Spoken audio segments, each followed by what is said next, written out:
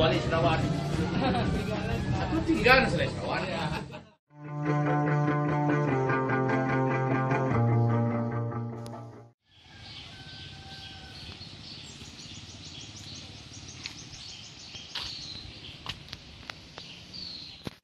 Assalamualaikum warahmatullahi wabarakatuh. Selamat jumpa kembali kawan-kawan mitra perkebunan. Eh, kali ini kita ada di Kabupaten Solo, tepatnya di Nagari Selayu. Kami dari tim POPT Perkebunan Provinsi Sumatera Barat kali ini akan melakukan deploy teknologi eh, mengaplikasikan metabolis sekunder pada tanaman kakao. Beberapa eh, waktu yang lalu itu daerah ini terserang penyakit VSD dan juga ada penyakit PBK serta busuk buah. Kali ini kami ingin mencoba melakukan dempol teknologi menggunakan metabolis sekunder uh, sebagai induksi ketahanan untuk tanaman kakao. Jadi kita ada um, percobaan uh, perlakuan metabolis sekunder dan perbandingannya dengan fungisida kimia uh, terhadap tanaman kakao yang sudah terserang penyakit tersebut. Jadi ikuti terus uh, perjalanan kami hari ini melakukan aplikasi MS bersama tim POPT Provinsi Sumatera Barat dan kelompok Tani Sayo Kabupaten Solo. Jaya. Pada kesempatan kali ini kami melakukan berupa pengujian media MS dengan empat perlakuan terhadap OPT yang menyerang tanaman kakao. Dan juga pada saat ini kita akan menggunakan metabolit sekunder dengan jamur trichoderma. Perlakuan yang kita berikan pada saat ini yang pertama yaitu perlakuan metabolit sekunder melalui infus akar. Yang kedua, perlakuan metabolit sekunder melalui biopori. Yang ketiga, penggunaan fungisida. Yang keempat, penggunaan fungisida dicampur dengan metabolit sekunder. Nanti setelah pengujian ini kita akan melihat bagaimana hasil dari perlakuan yang kita berikan sehingga kita dapat melakukan atau menyebarluaskan tindakan apa yang dapat dilakukan oleh petani untuk peningkatan produksi tanaman perkebunan khususnya tanaman kakao. Demikian dulu semoga bermanfaat. Salam perkebunan.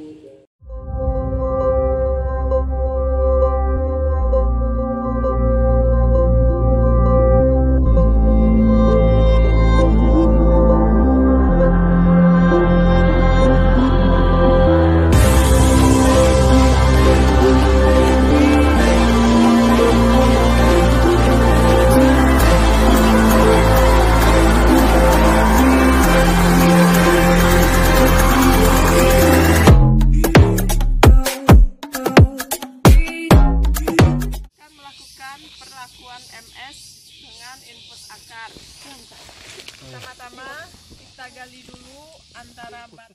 Jadi panjangan stek.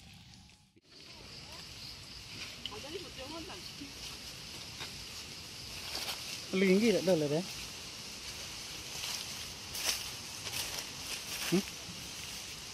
Melan Pak. Salah selesai kalimulan. Sama pas kan nampak kan ya.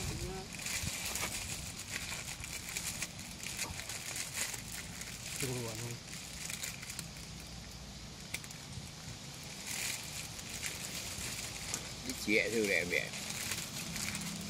Datanya tanah apa pasti ah, terih timbul tanah.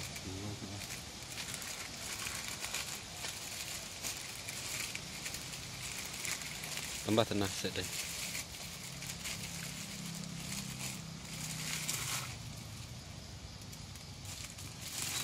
Tu pakai you tu buka awak tu. Dah. Ya Pak, bisa lah menunjukkan ke orang. Iya Pak. Satu itu lah di Sangkar ada di sana. Kurang tinggi tanah Pak. Oh, begitu. Kurang bisa kalau aku. Benar. Hmm, tu. Tak lain. Iko dimpi saya gelan. Dimpi kan datar. Ah, tu. Yang di bawah ni ditakan tu kan yang di, di bawah tu di bawah dan dia bangkai itu. Tak pernah ada Kali lah. Tin karet gelan.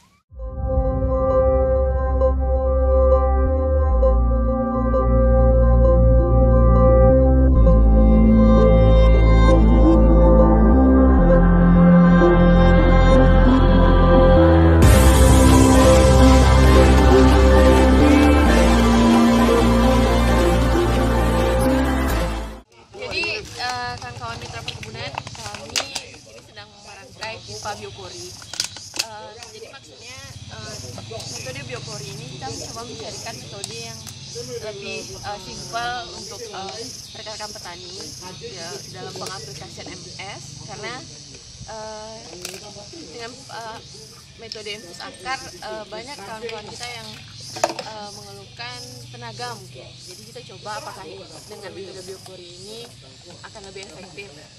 Jadi prinsipnya biopori ini em, pipa ini nanti dibolongin. Jadi dengan adanya pembolongan di sini, cairan yang masuk ke tanah yang sudah kita gali nanti itu diharapkan seperti prinsipnya biopori. Biasanya kan biopori itu dimasukkan serasa organik ke dalam pipa ini supaya terbentuk kompos. Namun pada percobaan kali ini kita tidak mencobakan eh, itu, kita cobakan untuk fokusnya ke MS aja dulu. Jadi dengan adanya lubang tersebut nanti seperti eh, makhluk hidup di yang hidup di tanah di cacing biasanya itu akan masuk lewat lubang ini ke dalam pipa. Jadi melalui aktivitas tersebut akan terbentuk eh, pori-pori di permukaan di bawah permukaan tanah tanaman kakao kita. Jadi kita mau cobakan dengan es apakah itu juga efektif dan diharapkan hasilnya tentu akan lebih bagus dibanding dengan eh, cara yang sebelumnya Adanya perlakuan yang kita coba ini, sifatnya sifat perlakuan ini, mungkin dari segi masing-masing dari perlakuan ini kita mungkin ada pertanyaan mungkin eh, berapa lama eh, rentang waktu nanti nampak kelihatan hasilnya gitu. Atau memang ada dipengaruhi oleh cuaca kek atau dari segi tanahnya kek atau dari segi pertumbuhan tanamannya itu bagaimana kira-kira eh, apanya? kita kan eh, iya pak. Dalam demplot ini kan channel kita akan mengamati empat bulan. Empat bulan untuk penyakit PSD pak. Dan PBK serta busuk buah cuman eh, prinsipnya di sini kami melakukan eh, selama empat bulan mengamati. Itu karena dari pengalaman sebelumnya MS metabolisme ini untuk kakao itu bereaksinya tiga bulan pak. Ya karena MS ini pestisida organik tentu eh, prosesnya itu lebih lama dibanding sintetik kan pak. Jadi untuk kakao ti- kita dari pengamatan sebelumnya itu tiga bulan. Jadi kita untuk PSD ini kita lihat setelah tiga bulan sama-sama kita amati apakah sudah dapat bereaksi melakukan eh, tindakan pengendalian. Dengan pengaruh cuaca ya seperti kita tahu prinsipnya MS pak dia tidak terpengaruh cuaca karena ini adalah senyawa organik pak. Cuman MS hanya terpengaruh dengan cahaya matahari dan panas. Nah kita kan pakai eh, metode biopori dan infus akar pak. Kalau infus akar itu kita berusaha lindungi dengan tutup dengan serasa organik. Itu penting untuk MS loh pak.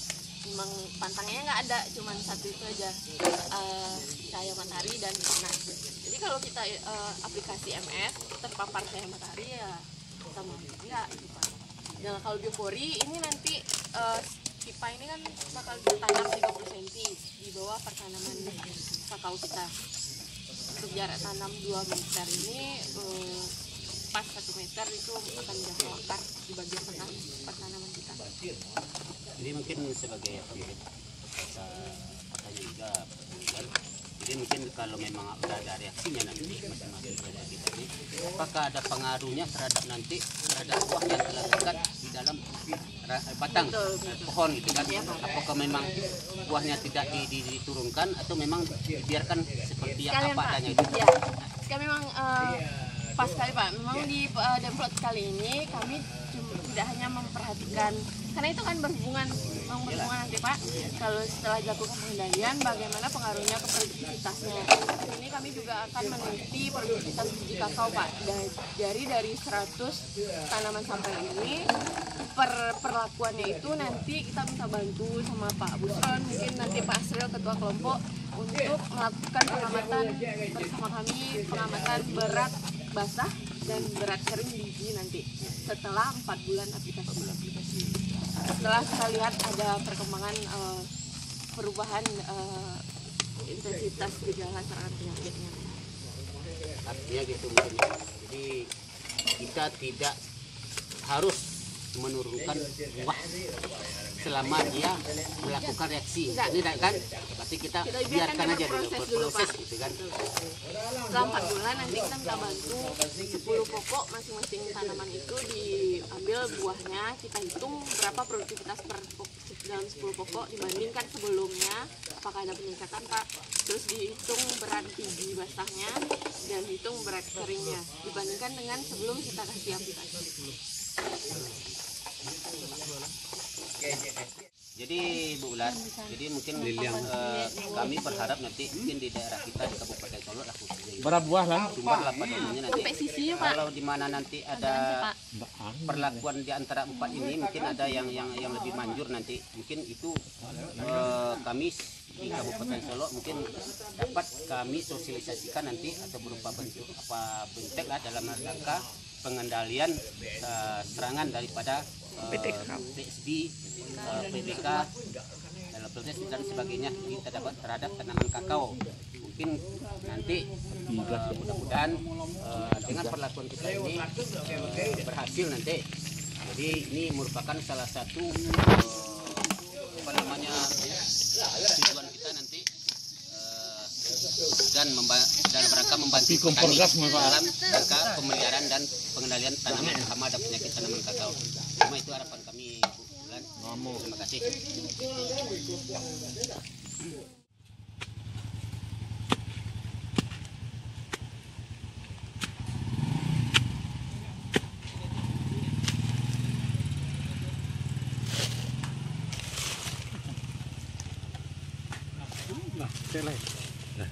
nah kemudian Kita tutup. kita tutup sehingga tinggal lebih kurang satu setengah botol di permukaan. Nanti media MS kita masukkan ke sini di mana botol yang di bawah telah kita beri pori-pori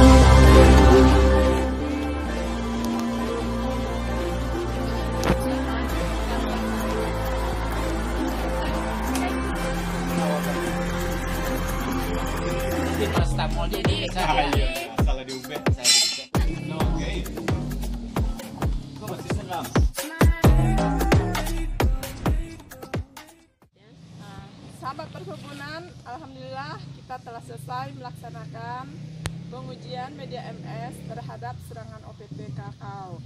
Perlakuan yang kita berikan yaitu media MS melalui akar, yang kedua media MS melalui biopori, dan yang ketiga media MS melalui eh, melalui MS plus fungisida dan yang terakhir melalui fungisida. Sebagai kontrol kita tidak melakukan perlakuan apa-apa. Dengan dilakukan eh, pengujian eh, media MS tadi. Mudah-mudahan bermanfaat bagi bagi petani kakao di Sumatera Barat eh, khususnya dan Indonesia pada umumnya. Sasaran dari Demplot Teknologi yang kita lakukan hari ini adalah yang pertama kita ingin melihat bagaimana efektivitas metabol sekunder dalam pengendalian penyakit-penyakit utama kakao. Yang pertama yaitu PBK, busuk buah dan yang sedang dihadapi baru-baru ini yaitu adalah vascular streak dieback atau VSD. Jadi harapan kita eh, kita bisa mengetahui efektivitas atau peran induksi ketahanan tanaman kakao dengan menggunakan metabolit sekunder Trichoderma sp.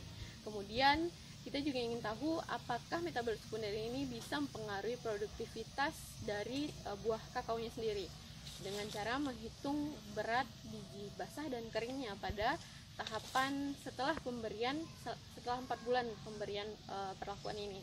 Jadi kita harapkan ada hasil dari uh, uh, metode yang akan kita coba kembangkan ini. Demikian saja mungkin kita uh, perkebunan semuanya.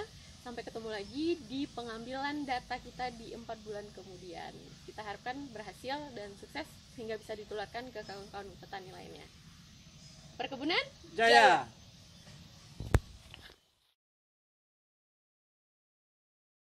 Música